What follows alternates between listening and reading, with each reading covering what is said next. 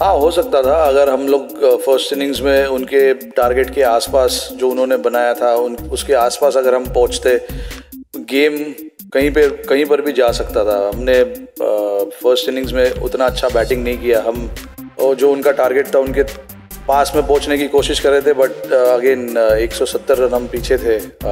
To seventy बनाकर हमको साढ़े चार सौ के आसपास का टारगेट दिया था। बट हम लोग काफ़ी होपफुल थे कि हम स्कोर कर सकते वो रन्स बैटिंग हमने अच्छा नहीं किया। आज सुबह भी हम टेस्ट क्रिकेट हो या टी ट्वेंटी क्रिकेट हो या वनडे क्रिकेट हो, हमको दबाव में नहीं खेलना है। मार कर खेलना है और प्रेशर उन पर डालना है। हमको कुछ डिफरेंट करना है। अक्टूबर में जब वर्ल्ड कप होगा, उसमें भी हम लोग कोशिश करेंगे कि कुछ अलग तरीके से खेले।